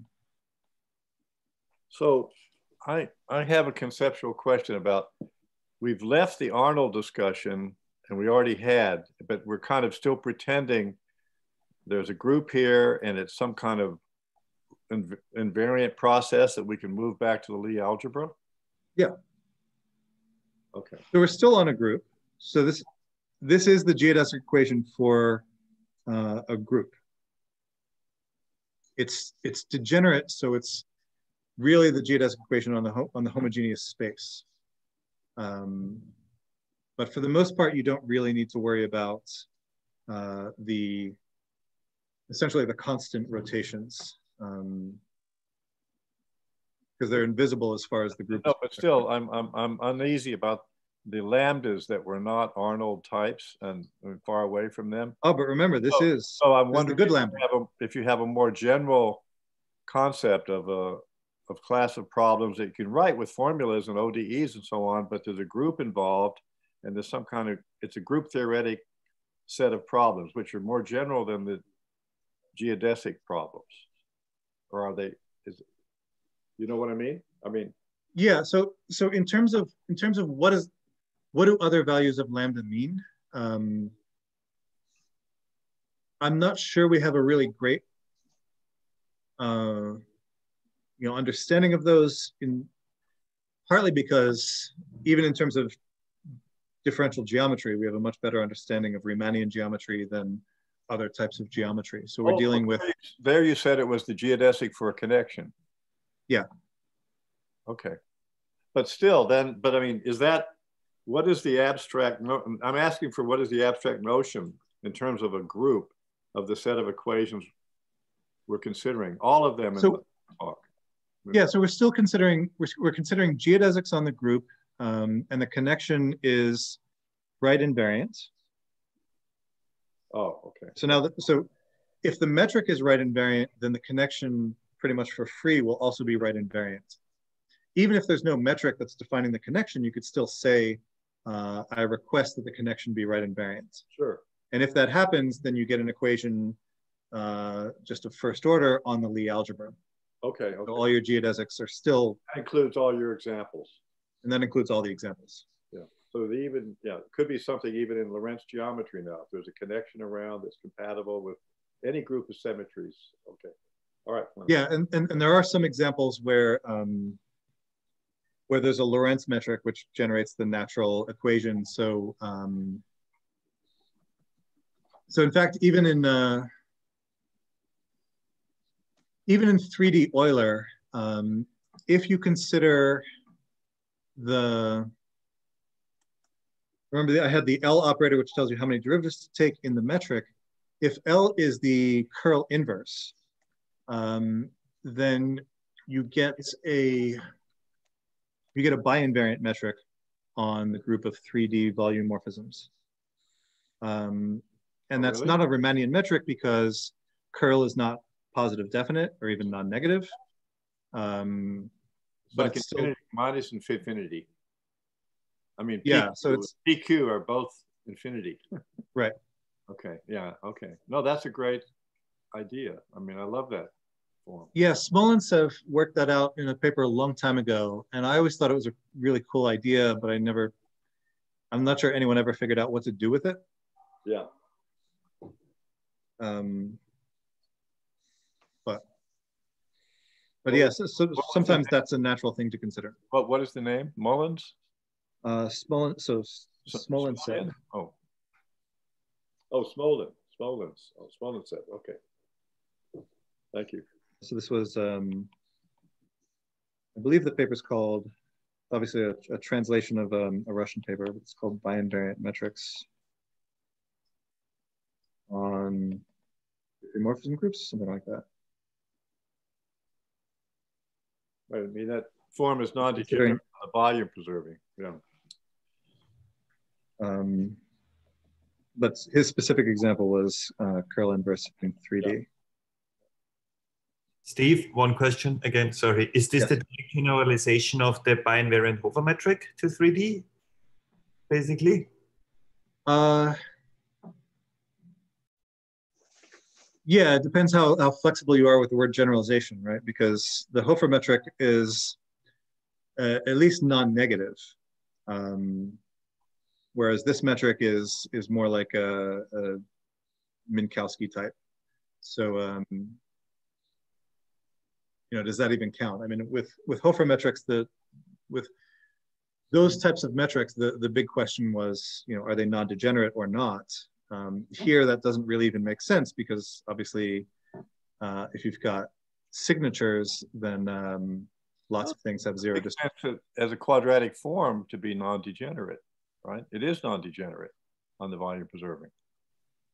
it's It's not positive. probably non-degenerate. Depend. I think that depends on the homology, but in most cases, it would be non-degenerate. But Yeah. uh, I mean, you can adjust the homology to make it.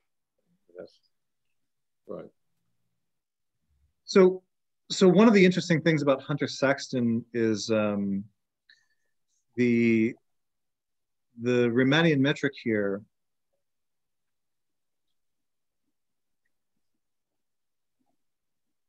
Metric, uh, which here is integral ux squared dx, is isometric to the sphere.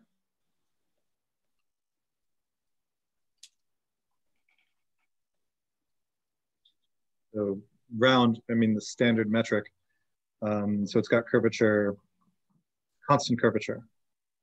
Um, and the isometry there is uh, eta maps to the square root of eta x. Hmm. And essentially the reason it works is, so if I call this some function f, um, if I'm on the circle of length one, then eta of one minus eta of zero is one, and that corresponds to integral from zero to one of f squared dx equals one. And that's where the, the round sphere is coming from. It's basically just Euclidean metric uh, for f, the standard L2 metric uh, with that constraint. And the diffeomorphism group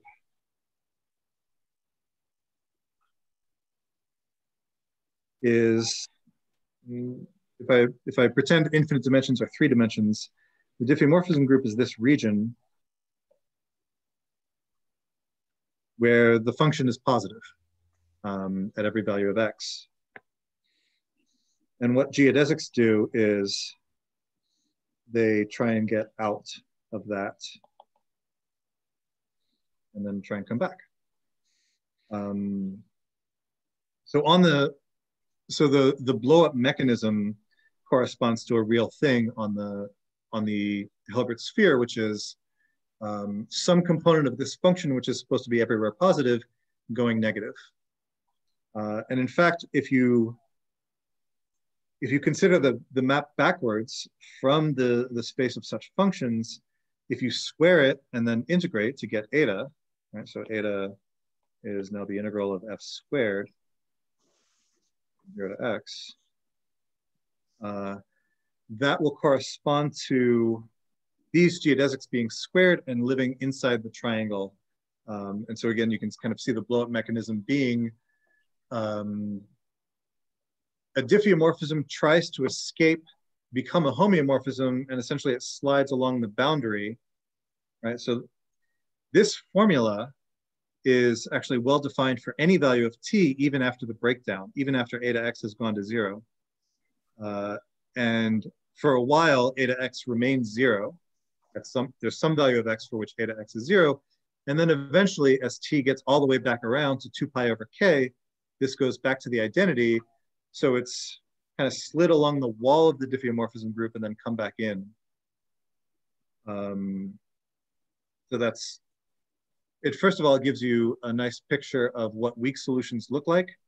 Uh, and uh, at least that's one of the blow up mechanisms. Wait, wait, but you, you're talking, you have this picture here, and then you were talking about the diffeomorphism group. That's not this picture. This is not. The red part is the diffeomorphism group. Oh, the red part is the diffeomorphism group. Right, so F. walls, but you had it going uh, through the wall. Right, so if so here it's going through the walls. The, the weak solution of this is an equation for F, right? And the square root of eta x is F, which is the square root of this. Um, well, wait, I don't want the formula. Just tell me what the, you said something goes along, what the diffeomorphism, which is red, goes to the boundary and then it slides, then it turns a right corner and goes along the edge? Yeah, so I'm, uh, I'm sorry, I'm combining two different pictures. Um, yeah, okay. So the, the one picture is what's happening in the sphere because this, the diffeomorphism group is a sub, is isometric to a subset of the sphere right? And so the geodesic wants to leave that subset. Um, if I if I try and get back to, if I consider what's happening with this, with my formula for eta x. Wait, the diffeomorphism group, now you, you mod the S1 is the red thing, maybe. Yes. The diffeomorphism group is homogeneous. It can't look like that. But mod S1, yeah. the S1s might change and so, and collapse so what happens to the S1 when you hit the black point? Um, it's small or big or, or what?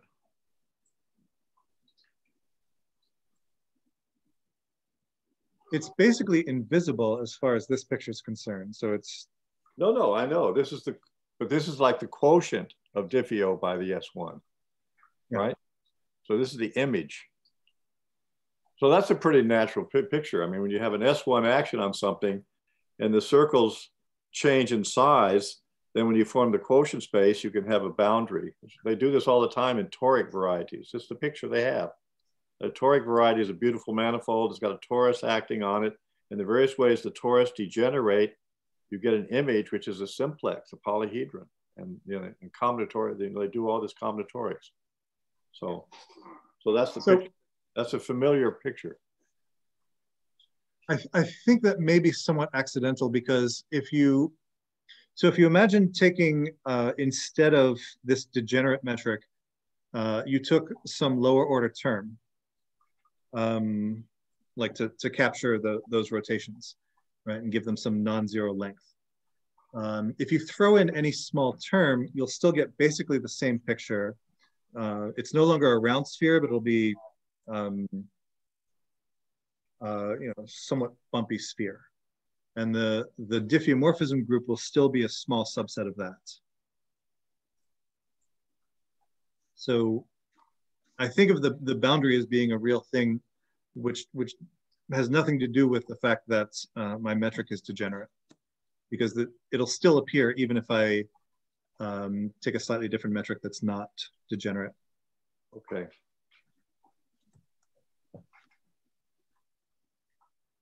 right? So, so this actually happens, and it, it does tie in. Um, I guess the last thing I should say, uh, this coordinate transformation that you take your diffeomorphism, uh, you take eta x, and you take the square root of that, and you get some function f, and you can write everything in terms of that function f.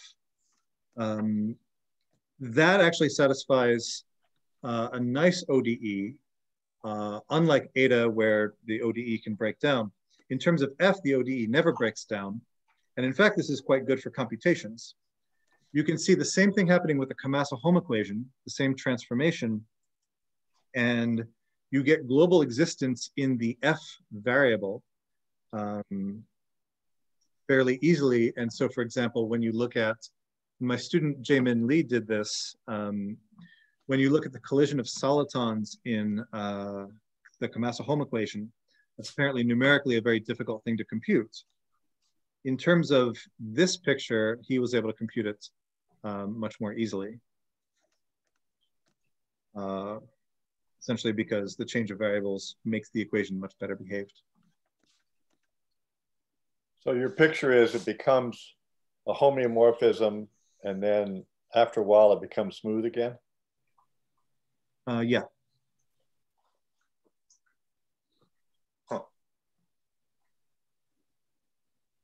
So there's a version of this.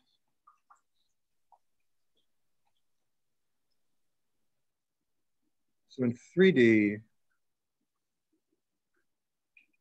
the 3D version of this picture is, um, I square the components. the sphere flattens out into uh, the convex triangular set. And the geodesic here in, switch my colors.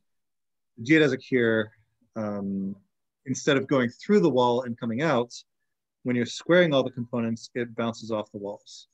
And that's the picture I was describing before. Oh. Words. So this So, so only, only for a split second is it not smooth. yeah.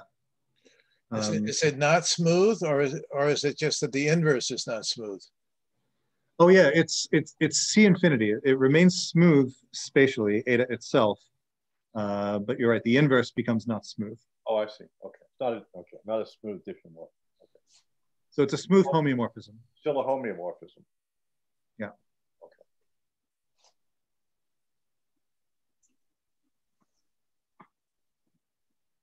Are you going to stop there? I think I should. It's four o'clock. Okay. Yeah. You can talk again. Do you want to talk again? Uh, Think about it. yeah, I, I got I got through like the first half page of my my notes. Um, so I guess there is more to say, but uh, um, I'm I, I am available to talk again. Yeah. What about in two weeks? Uh, I think two weeks would be good. Okay. All right. I'll change what we have. Yeah. Because it's me. it's easy to change. Okay. Well, that's okay. Well, thank you, Steve. That was very enjoyable. Thank you, everyone. For Thank you.